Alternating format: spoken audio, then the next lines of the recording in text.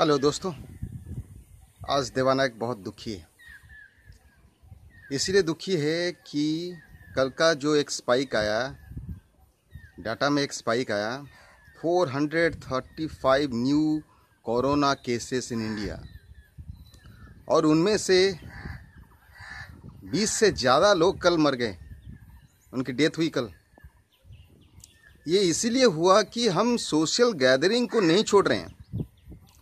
जब तक हम सोशल गैदरिंग को नहीं छोड़ेंगे, तब तक ये कंट्रोल में नहीं आएगा। हमें फ़िज़िकल डिस्टेंस मेंटेन नहीं करना है। हमें सोशल गैदरिंग को छोड़ना है।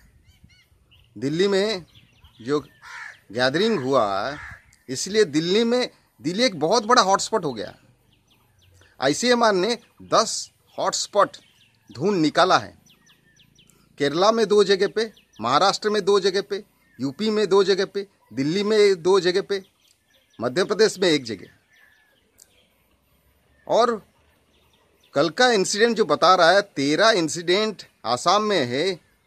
ये भी हो सकता है कि आसाम का एक दो जगह हॉटस्पॉट बन सकता है।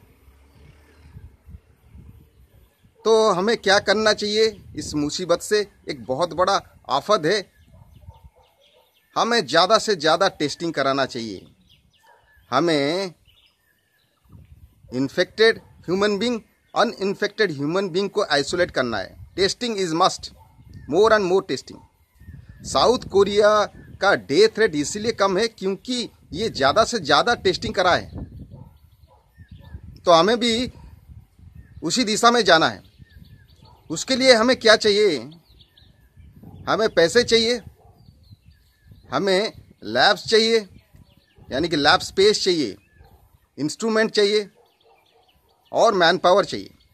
जितने भी आईसीएमआर लैब है या मेडिकल कॉलेजेस है, इंडिया में सबको आप टेस्टिंग सेंटर खोल दीजिए।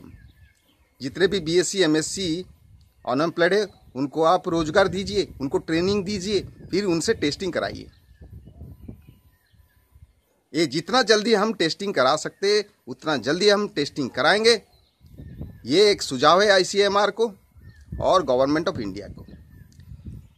इस दौरान जो हमारा लीडरशिप है, उनको बहुत ज़्यादा मेहनत करने की ज़रूरत है। मैं आशा करता हूँ वो ज़्यादा से ज़्यादा मेहनत करें। आलसपन से काम नहीं चलेगा दोस्तों। धन्यवाद।